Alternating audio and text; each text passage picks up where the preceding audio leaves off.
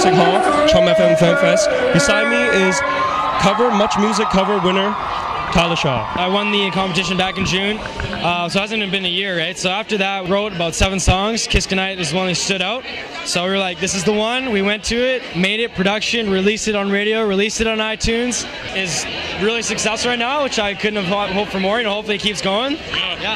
Um, Tyler, so what's this like performing in front of your fans now? Fans following you and they know your lyrics and everything. It's incredible, honestly. It, it makes my heart just it just explode with gratefulness. Honestly, it's it's it's, it's surreal. It honestly is.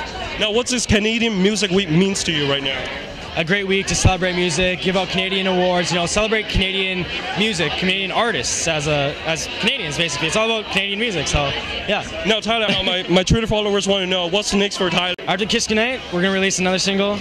And hopefully after that, we're looking to make uh, make some more music for fans and stuff. Remember to check out Tyler Shaw and follow him, and he's a up and rising, amazing talent.